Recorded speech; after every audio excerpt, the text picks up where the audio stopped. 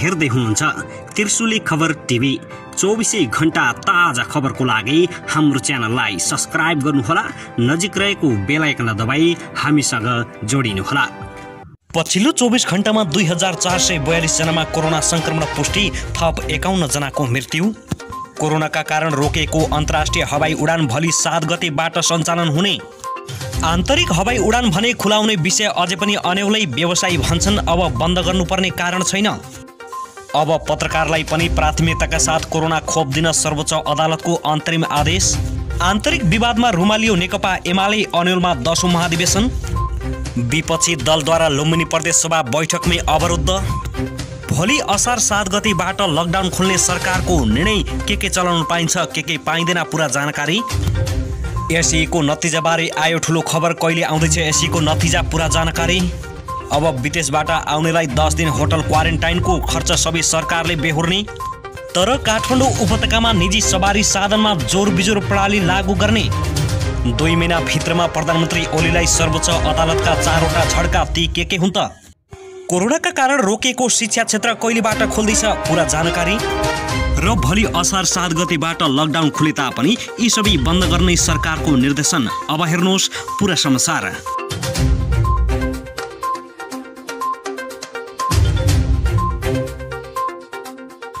दर्शकबिन नमस्कार। तपाईँहरूलाई हार्दिक स्वागत छ। हाम्रो च्यानल तेर्सोले खबर टिभीमा। यदि हाम्रो च्यानललाई अहिलेसम्म सब्सक्राइब गर्नुभएको छैन भने सब्सक्राइब गरी नजिक रहेको बेलायकनलाई दबाई हामीसँग जोडिनुहोला। दर्शकबिन सदा चाहिँ आज पनि हामी तपाईँहरूमाझ देशभरका मुख्य खबरका साथ उपस्थित भइसकेका छौँ। यो भिडियोलाई अन्तिमसम्म हेरी हामीले साथ दिनुहोला। दर्शकबिन हाम्रो मेहनतको लागि एउटा सानो लाइक गर्न भने नभुल्नुहोला। दर्शकबिन अब लागौँ पहिलो खबरतर्फ। सबैभन्दा पहिले कोरोना अपडेटबारे जानकारी गराउन चाहे पछिल्लो चौबिस घण्टामा देशभर एक हजार चार सय एक्काइसजनामा कोरोना सङ्क्रमण पुष्टि भएको छ। स्वास्थ्य तथा जनसङ्ख्या मन्त्रालयका अनुसार विभिन्न जिल्लामा गरिएको छ हजार छ सय सतहत्तर पिसिआर परीक्षणमा एक हजार चार सय एक्काइसजनामा कोरोना सङ्क्रमण पुष्टि भएको स्वास्थ्य तथा जनसङ्ख्या मन्त्रालयले जानकारी दिएको हो। त्यसै गरी चार हजार दुई सय उनपचास एन्टिजेन परीक्षणमा एक हजार एक्काइसजनामा कोरोना सङ्क्रमण देखिएको छ। पिसिआर र एन्टिजेन परीक्षणबाट कुल दुई हजार चार सय बयालिसजनामा कोरोना सङ्क्रमण पुष्टि भएको मन्त्रालयले बताएको हो। त्यस्तै गत चौबिस घन्टामा तिन हजार चार सय छप्पन्नजना कोरोना सङ्क्रमणबाट निको भएर डिस्चार्ज भएका छन्। त्यस्तै मन्त्रालयले दिएको जानकारी अनुसार देशभर गरी थप एकाउन्नजनाको कोरोना सङ्क्रमणका कारण मृत्यु भएको छ। यसअघि नेपालमा कोरोना सङ्क्रमणबाट हालसम्म मृत्यु हुनेको कुल सङ्ख्या आठ हजार सात सय छब्बिस पुगेको मन्त्रालयले जानकारी दिएको हो। दर्शबिन अब लागौँ अर्को खबरतर्फ। पछिल्लो समय नयाँ भेरिएन्ट सहित तीव्र रूपमा फैलेको कोरोना भाइरस सङ्क्रमणको दर बिस्तारै घट्दै जान थालेपछि अहिले सरकार थप अन्तर्राष्ट्रिय उडान खोल्ने तयारीमा जुटेको छ। संस्कृति पर्यटन तथा नागरिक उडान मन्त्रालय यसको तयारीमा जुटेको हो। मन्त्रालयले आगामी साताबाट सबै अन्तर्राष्ट्रिय गन्तव्यमा सातामा दुईवटा नियमित उडान खुला गर्ने विषयमा आवश्यक गृह कार्य थालेको छ। मन्त्रालयका सहसचिव तथा हवाई उद्योग महाशाखा प्रमुख बुद्धिसागर लामिछानेले यस्तो जानकारी दिएका हुन्।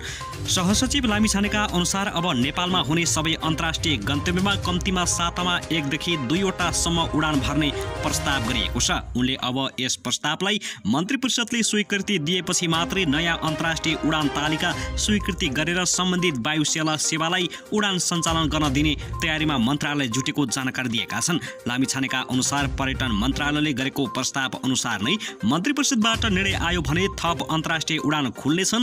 जसका लागि आगामी सोमबारसम्ममा निर्णय आइसक्ने अनुमान गरिएको उनले बताएका छन्। मन्त्रालयका अनुसार हाल कतार र भारत त्यसै गरी टर्कीमा मात्रै सीमित अन्तर्राष्ट्रिय उडानको अनुमति दिएको छ। संयुक्त अरब इमिरेट सिवाई सहितको मुलुकमा उडान खोल्ने विषयमा मन्त्री परिषदबाटै निर्णय आउनुपर्ने भएकाले पर्यटन मन्त्रालयले गरेको प्रस्ताव अनुसार नै निर्णय आउने अनुमान गरिएको छ।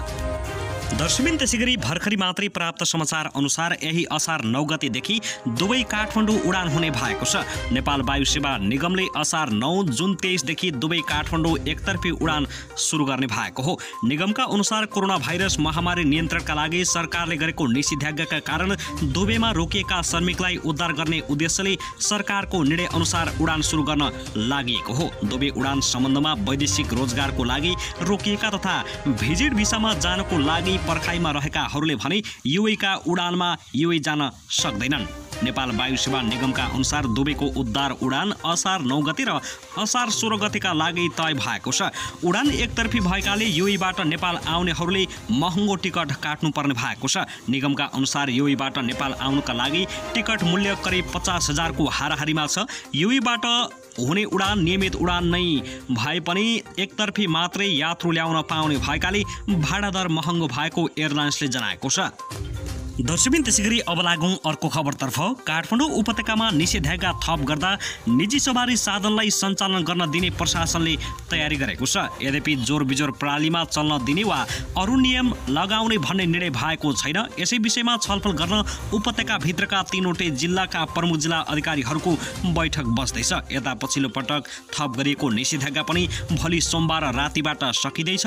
त्यसैले निषेधाज्ञा थप र अन्य विषयको निर्णय पनि सोही बैठकले गर्ने भएको छ। यसअघि कोभिड नाइन्टिन सङ्कट व्यवस्थापन केन्द्र सिसिएमसीको बैठकले पनि निषेधाज्ञाको स्वरूप परिवर्तन गरी स्मार्ट लकडाउन गर्ने निर्णय गरेको थियो। अहिले खाद्यान्न पसल डिपार्टमेन्ट स्टोर पुस्तक पसल ग्यास पसल तरकारी पसलहरूलाई बिहान एघार बजेसम्म खोल्न दिएको छ। अब थपिने निषेधाज्ञामा व्यावसायिक अन्य प्रयोजनका पसलहरू पनि सञ्चालन गर्न पाउने भएका छन् तर निश्चित समय तोकिने जनाइएको छ। आर्थिक गतिविधिहरू चलायमान हुने गरी निषेधाज्ञा लम्बाउने तयारी सरकारले गरेको छ।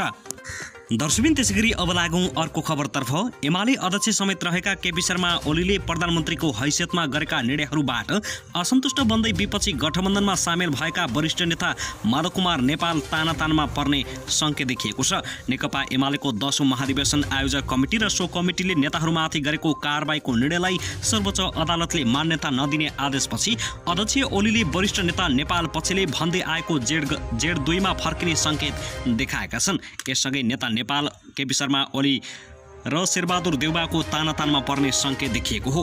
यसअघि एमालेलाई दुई हजार पचहत्तर जेड दुईको अवस्थामा फर्काउन आनाकानी गरेका अध्यक्ष ओलीलाई सर्वोच्चको पछिल्लो आदेशले पनि आफ्नो सरकार जोगाउनकै लागि भए पनि एमाले एकता कायम राख्नुपर्ने बाध्यता देखिएको छ। त्यसका लागि ओलीले पार्टी एकताका नाममा वार्ता गर्न आफू निकटका नेताहरूलाई खटाइरहेका छन्।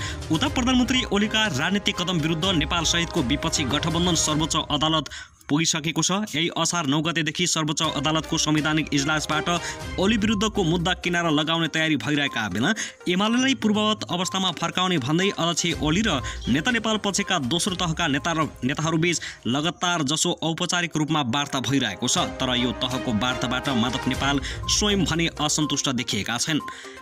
ओलियो वार्तापछि पनि नेता नेपाल एमालेमा नआए पनि अरू केही प्रभावशाली नेताहरूलाई आफ्नो पक्षमा पार्न र नेपाललाई एक्ल्याउन सकिन्छ कि भन्ने बुझाइ माग्छन्। उता विपक्षी गठबन्धन नेपाली काङ्ग्रेस माओवादी केन्द्र र जसपाको उपेन्द्र यादव पक्षलाई भने नेपालसम्म ओलीसँग मिल्न गए ओली विरुद्धको गठबन्धन कमजोर बन्ने चिन्ता बढेको छ। नेता नेपाल ओलीसँग मिल्न गए ओलीले प्रधानमन्त्रीको हैसियतले चालेका कदम विरुद्धका लडाइँमा हार्ने डर विपक्षी गठबन्धनलाई भएको छ। यस्तो विश्लेषणपछि विपक्षी गठबन्धनका नेताहरूले नेता माधव कुमार नेपालसँग लगातार छलफल गरिरहेका छन्।